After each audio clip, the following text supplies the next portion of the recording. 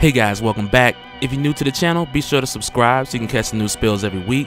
And don't forget to hit that bell up top so we can squat up in the comments afterwards. Alright, so continuing from my last video where we talked about Dark Robin, the son of the Batman who laughs and where he's been all this time, like that was just one example of many things that's been going on behind the scenes during this event. And I love that because this event has been everything but basic. And with the main conflict being Batman trapped in the dark multiverse and all the nightmare Batman crossing over to the light multiverse, like that is only the tip of the iceberg because there are so many other elements that tie in, not just with the tie-in issues, but in DC Rebirth as a whole. And because of that, Nightwing's role is what I want to focus on mainly in this video.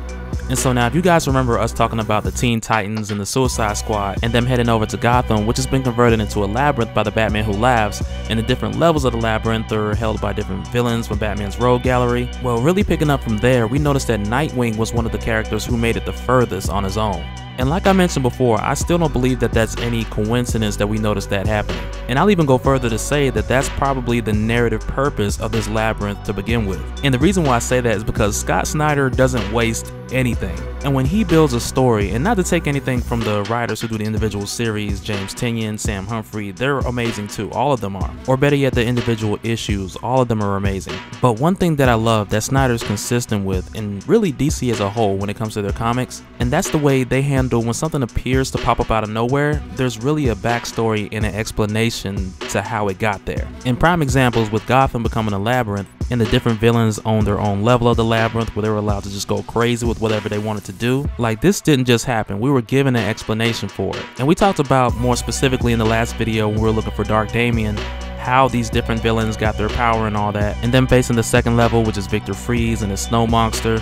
But it's in this metal tie-in that we notice an issue with Nightwing that took place way before Dark Days The Forge issue number 1, but it still carries relevance all through this series and even up to this point. And that's the cut on Nightwing's forehead that he received from Dr. Simon Hurt's Black Blade. And since then, the cut closed up for a while, like it disappeared but then again it reappeared when he was posing as Batman and he led the Justice League into the Amazon. And with that cut reappearing, Nightwing tells us that's what led him here to Gotham. And so now to better explain the cut on Nightwing's head, we have to go back and talk about a character named Deathwing. And so now Deathwing was reintroduced recently to DC Rebirth through a five-part series called Nightwing Must Die. And Deathwing was a product of Professor Pig who was actually working with Dr. Hurt in Hurt's grand scheme to prepare Nightwing or get him ready for an upcoming event. And although the Nightwing series is written by Tim Seeley, this just goes to show you how deep some of these tie-ins go that lead up to Metal. And I really like the backstory to Deathwing because he's literally wearing Nightwing's old costume. And with this character having that costume now and actually believing that he is Nightwing, I just think that was perfect way for them to do his character coming into DC Rebirth. But Deathwing was given the Black Blade from Dr. Hurt with the instruction to cut Nightwing with this blade. And in doing this, Dr. Hurt, who I'll talk about more in a little bit, his goal and purpose was to open Nightwing's third eye. And when this happened, it was well before the metal issue started coming out, and we really didn't find out till later the significance of it and how it ties into the current events. And this also leads me to the whole theory of Dr. Hurt working for Barbatos as well.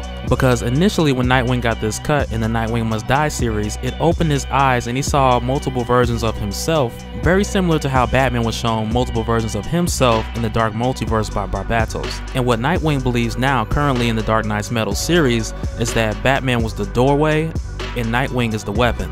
And it's crazy how this comes into play because Professor Pig, who created Deathwing, he revealed to us way back when that one of the secret ingredients to him creating his Dollotrons was a metal poisoning called Saturnism. And once again, this is shown to us way before we really knew the significance of metal. So with this being revealed to us at this time, as a reader, we really didn't know the gravity of what he was telling us. But he goes on to tell Shawn Tsang, who's Nightwing's love interest, that he realizes the involvement of Saturnism is more than just a coincidence. And he mentions this in reference to the Roman mythology of Saturn consuming his sons, because Saturn feared that one day his son would overthrow him the same way that Saturn overthrew his father. And so Nightwing isn't Batman's blood son. Damian Wayne is, but Bruce very much considers Dick Grayson to be a son of his own. And in DC Rebirth, this is something that's been heavily mentioned, more so weighing towards the relationship between Dick Grayson and Damian Wayne as brothers, but nonetheless constantly asking the reader the question over and over again, which one of these two sons is going to be the next Batman? And so in going back to these earlier issues of Nightwing and seeing the significance of Saturnism and seeing its ties to early Roman mythology and also pulling its reference from the Greek, I can't help but to think that that's going to come back and tie into the sons of Batman being consumed by metal, not Batman literally, and Batman being Saturn in this case, overthrowing his figurative father Barbatos. But that's something we have yet to see. I just think it's interesting that that was mentioned so early on. And if that is the case, I'm pretty sure we'll see Deathwing come back as well too, especially with Professor Pig mentioning that he uses metal to create his Dollotrons. But going back to Nightwing and the rest of the team in the Labyrinth who are going against Victor Fries, during this fight, that same wound that opened up on Nightwing's forehead gave him the information that led them into a hidden armory.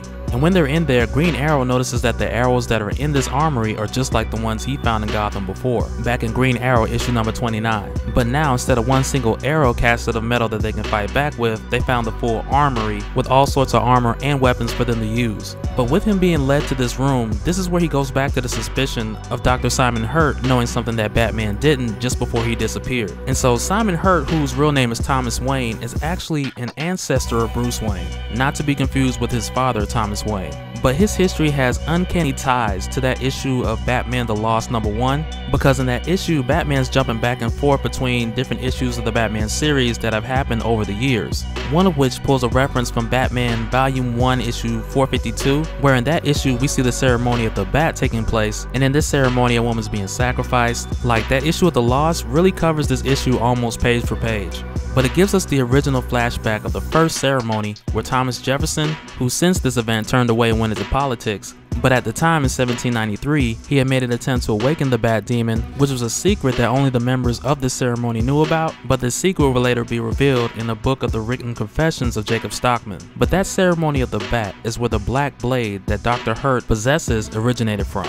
And although we haven't been given the full explanation of his ties to Barbatos, we know that it's very likely that by through means of the hyper adapter, that Barbatos is using Dr. Hurt to forge a new weapon.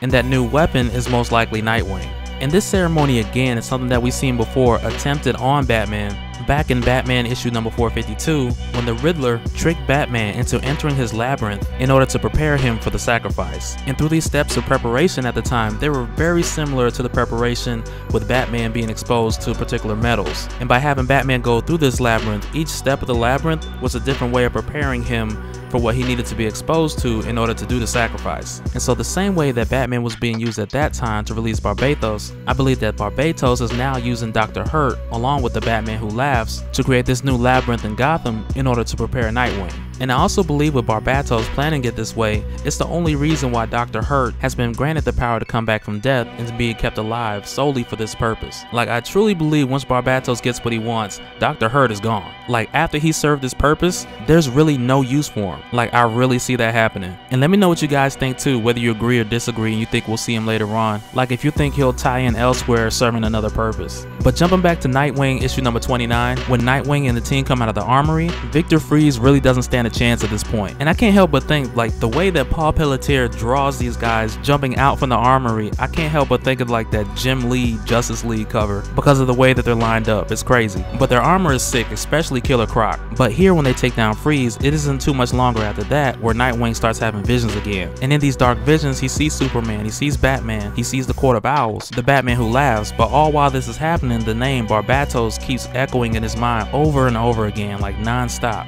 And while his third eye receives these visions, the wound on his forehead hemorrhages more profusely. And in a way, it's like these visions in his mind are calling him to the mountain that's at the center of the labyrinth of Gotham. And he proceeds to go in that direction as he leads everyone further into the labyrinth to the next level. But it very much seems like the very thing that's helping him through is the same thing that's turning him into something else. And this is a test of which we initially thought he passed back in the Nightwing Must Die series, because when he snapped out of his trance confronting Dr. Hurt, at that time he really told us what the definition of Nightwing was. Because with Professor Pig threatening to kill Shawn and Dr. Hurt threatening to kill Damian, Nightwing made it very clear that the difference between him and Bruce is that Nightwing won't be affected or molded by tragedy. And that's really one of those things that separate him from Batman or even himself as Robin, because the argument can be made that the tragedy with his family led him to become Robin, but the same cannot be said for Nightwing. But as they go further into the labyrinth facing Poison Ivy and at one point the Mad Hatter, but during this time, Dark Robin returned and he told Nightwing tell them the truth. And of course Nightwing leaves with part of the truth telling them who Dark Robin is and where he comes from. But Damian who's initially shocked by that is like, well I would never do that, but